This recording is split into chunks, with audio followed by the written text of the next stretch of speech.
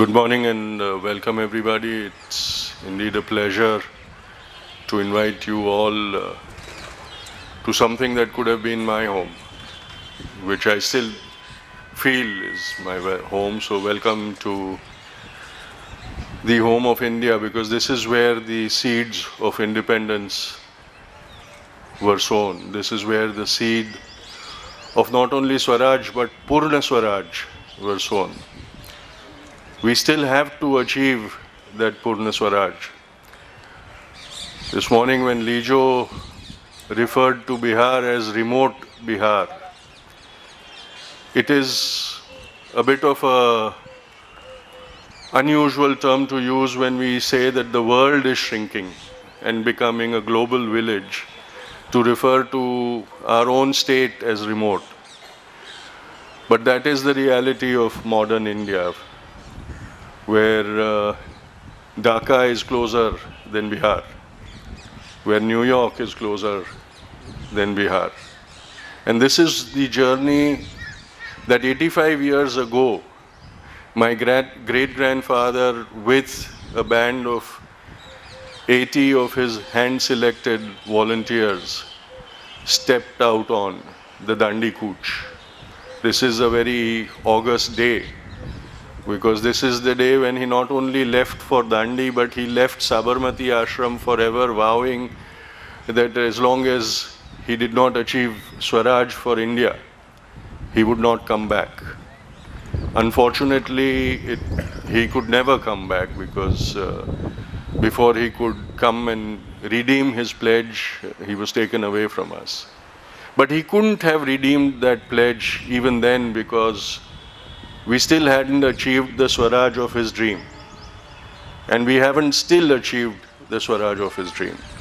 So today, when we begin this journey with titans of example, people who have achieved in their own way to eradicate poverty by, poverty by their own uh, efforts, we should get the inspiration that those 80 marchers got who walked with Bapu from here to Dandi and then melted away into oblivion.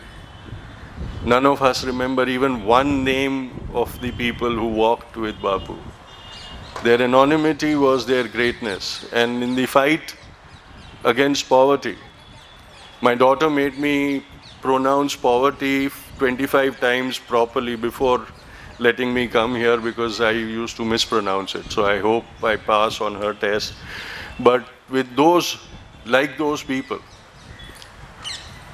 we will also have to begin that journey from this ashram today. It's also very a big coincidence that after leaving from uh, Sabarmati, the first place where Bapu halted to acknowledge a reception that was being granted to him was the campus of Gujarat Vidyapith.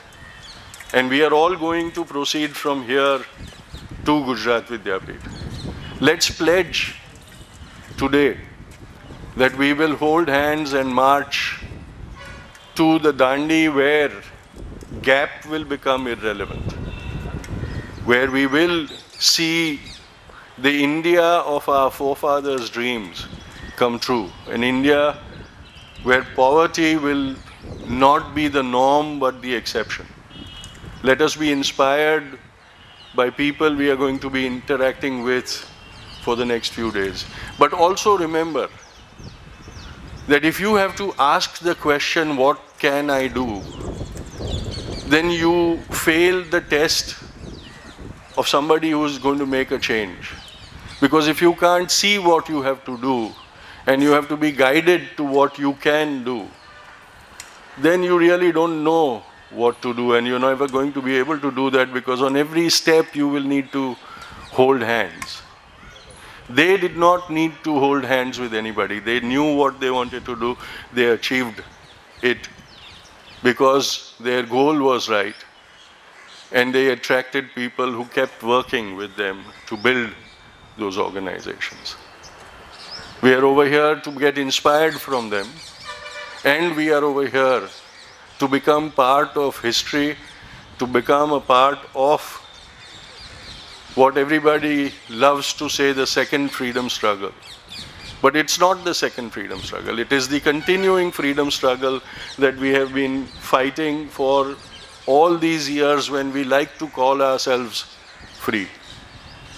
But as long as we are not free of poverty, because Bapu said that poverty was the greatest sin against mankind.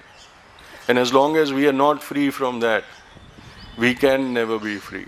So welcome, welcome to the new Dandi Kuch, the Dandi Kuch against poverty. Thank you very much.